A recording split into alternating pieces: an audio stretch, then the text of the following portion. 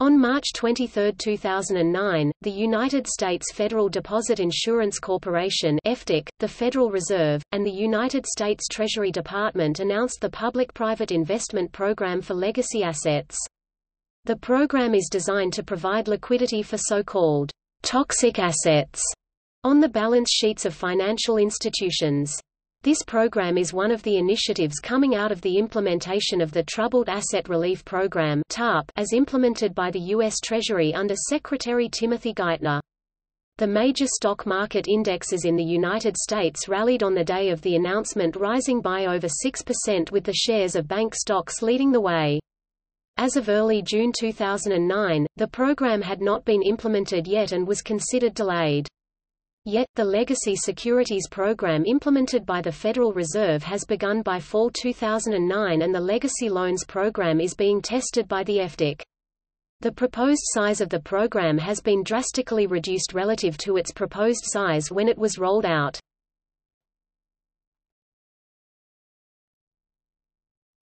Topic. Background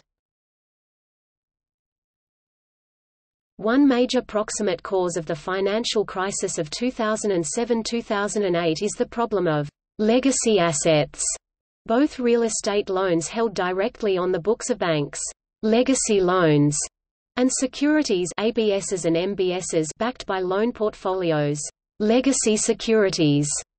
These assets create uncertainty around the balance sheets of these financial institutions, compromising their ability to raise capital and their willingness to increase lending.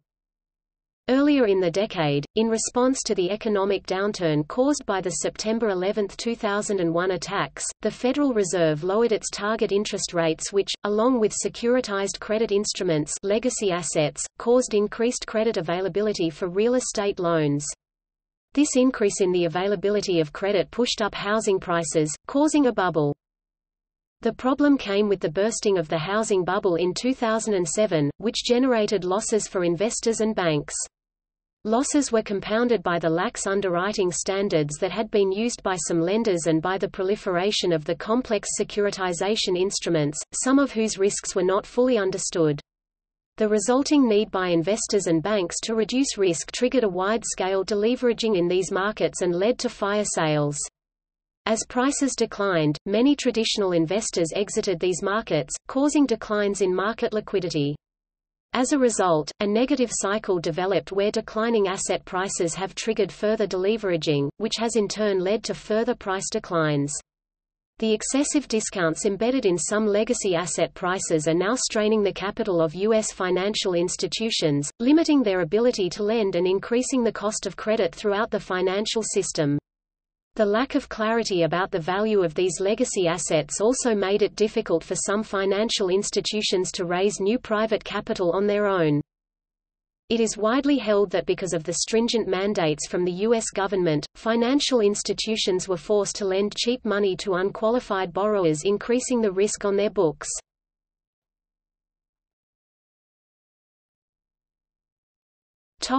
General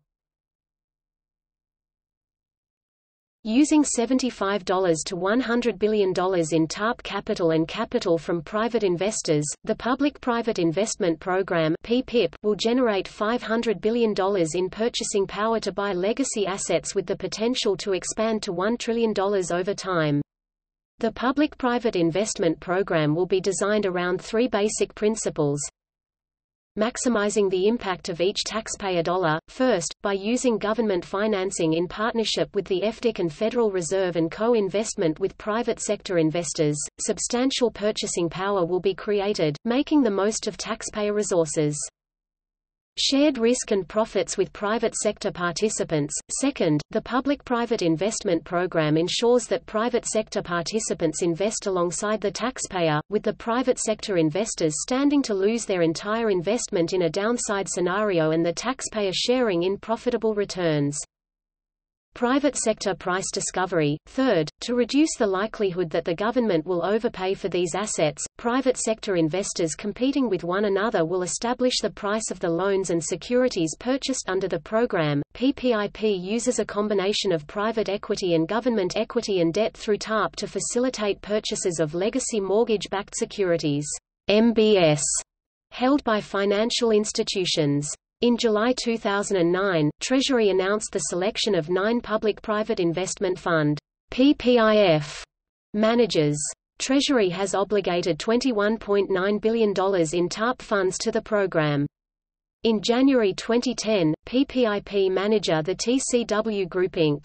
TCW withdrew from the program. On April 3, 2012, PPIP manager Invesco announced it had sold all remaining securities in its portfolio and was in the process of winding up the fund. The remaining seven PPIP managers are currently purchasing investments and managing their portfolios. According to Treasury, the purpose of the Public-Private Investment Program PPIP is to purchase legacy securities from banks, insurance companies, mutual funds, pension funds, and other eligible financial institutions as defined in EESA, through PPIFs. PPIFs are partnerships, formed specifically for this program, that invest in mortgage-backed securities using equity capital from private sector investors combined with TARP equity and debt. A private sector fund management firm oversees each PPIF on behalf of these investors. According to Treasury, the aim of PPIP was to restart the market for legacy securities, allowing banks and other financial institutions to free up capital and stimulate the extension of new credit. PPIP originally included a legacy loans subprogram that would have involved purchases of troubled legacy loans with private and treasury equity capital, as well as an FDIC guarantee for debt financing. TARP funds were never disbursed for this subprogram. Treasury selected nine fund management firms to establish PPIFs. One PPIP manager, the TCW Group, Inc. TCW, subsequently withdrew, and another PPIP manager, Invesco, announced recently that it has sold all remaining securities in its PPIP fund.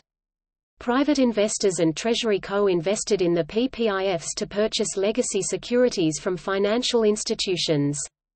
The fund managers raised private sector capital. Treasury matched the private sector equity dollar for dollar and provided debt financing in the amount of the total combined equity. Each PPIP manager was also required to invest at least $20 million of its own money in the PPIF. Each PPIF is approximately 75% TARP funded. PPIP was designed as an eight-year program. PPIP managers have until 2017 to sell the assets in their portfolio. Under certain circumstances, Treasury can terminate it early or extend it for up to two additional years. Treasury, the PPIP managers, and the private investors share PPIF profits and losses on a pro rata basis based on their limited partnership interests. Treasury also received warrants in each PPIF that give Treasury the right to receive a portion of the fund's profits that would otherwise be distributed to the private investors along with its pro rata share of program proceeds. The PPIP portfolio, consisting of eligible securities, was valued at $21.1 billion as of March 31, 2012, according to a process administered by Bank of New York Mellon, acting as valuation agent. That was $600 million higher than the portfolio value at the end of the previous quarter. The portfolio value was also affected by Invesco's sale of its remaining securities in March 2012, discussed in greater detail in this section. In addition to the eligible securities, the PPIP portfolio also consists of cash assets to be used to purchase securities. The securities eligible for purchase by PPIFs eligible assets a non-agency residential mortgage-backed securities, non-agency RMBS, and commercial mortgage-backed securities, CMBS, that meet the following criteria. Issued before January 1, 2009 legacy rated when issued AAA or equivalent by two or more credit rating agencies designated as nationally recognized statistical rating organizations NRSROs Secured directly by actual mortgages, leases, or other assets, not other securities other than certain swap positions, as determined by Treasury. Located primarily in the United States the loans and other assets that secure the non-agency RMBS and CMBS purchased from financial institutions that are eligible for TARP participation. Topic: Two assets types. The public-private investment program has two parts, addressing both the legacy loans and legacy securities clogging the balance sheets of financial firms. The funds will come in many instances in equal parts from the U.S. Treasury's Troubled Asset Relief Program monies, private investors, and from loans from the Federal Reserve's Term Asset-Backed Securities Loan Facility TALF.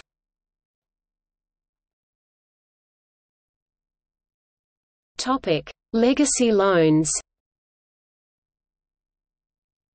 The overhang of troubled legacy loans stuck on bank balance sheets has made it difficult for banks to access private markets for new capital and limited their ability to lend. To cleanse bank balance sheets of troubled legacy loans and reduce the overhang of uncertainty associated with these assets, they will attract private capital to purchase eligible legacy loans from participating banks through the provision of FDIC debt guarantees and Treasury equity co-investment. The Treasury Department currently anticipates that approximately half of the TARP resources for legacy assets will be devoted to the Legacy Loans Program, but the program will allow for flexibility to allocate resources for the greatest impact. A broad array of investors are expected to participate in the Legacy Loans Program. The participation of individual investors, pension plans, insurance companies and other long-term investors is particularly encouraged. The Legacy Loans Program will facilitate the creation of individual public-private investment funds which will purchase asset pools on a discrete basis. The program will boost private demand for distressed assets that are currently held by banks and facilitate market-priced sales of troubled assets. The FDIC will provide oversight for the formation, funding, and operation of these new funds that will purchase assets from banks. Treasury and private capital will provide equity financing and the FDIC will provide a guarantee for debt financing issued by the public-private investment funds to fund asset purchases. The Treasury will manage its investment on behalf of taxpayers to ensure the public interest is protected. The Treasury intends to provide 50% of the equity capital for each fund, but private managers will retain control of asset management subject to oversight from the FDIC. Purchasing assets in the Legacy Loans Program will occur through the following process. Banks identify the assets they wish to sell. To start the process, banks will decide which assets usually a pool of loans they would like to sell. The FDIC will conduct an analysis to determine the amount of funding it is willing to guarantee. Leverage will not exceed a 6 to 1 debt to equity ratio. Assets eligible for purchase will be determined by the participating banks, their primary regulators, the FDIC and Treasury. Financial institutions of all sizes will be eligible to sell assets. Pools are auctioned off to the highest bidder. The FDIC will conduct an auction for these pools of loans. The highest bidder will have access to the public-private investment program to fund 50% of the equity requirement of their purchase. Financing is provided through FDIC guarantee. If the seller accepts the purchase price, the buyer would receive financing by issuing debt guaranteed by the FDIC. The FDIC guaranteed debt would be collateralized by the purchased assets and the FDIC would receive a fee in return for its guarantee. Private sector partners manage the assets. Once the assets have been sold, private fund managers will control and manage the assets until final liquidation, subject to strict FDIC oversight.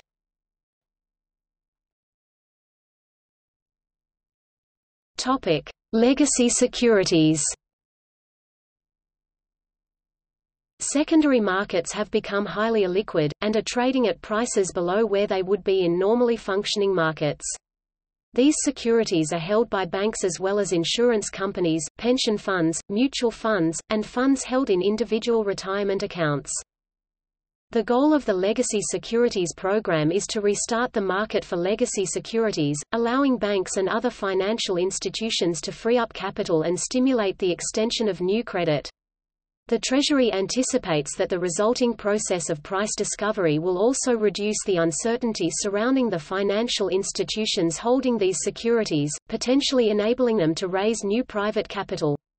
The Legacy Securities Program consists of two related parts designed to draw private capital into these markets by providing debt financing from the Federal Reserve under the Term Asset-Backed Securities Loan Facility and through matching private capital raised for dedicated funds targeting legacy securities. The lending program will address the broken markets for securities tied to residential and commercial real estate and consumer credit. The intention is to incorporate this program into the previously announced TALF. Providing investors greater confidence to purchase legacy assets, as with securitizations backed by new originations of consumer and business credit already included in the TALF, Treasury expects that the provision of leverage through this program will give investors greater confidence to purchase these assets, thus increasing market liquidity.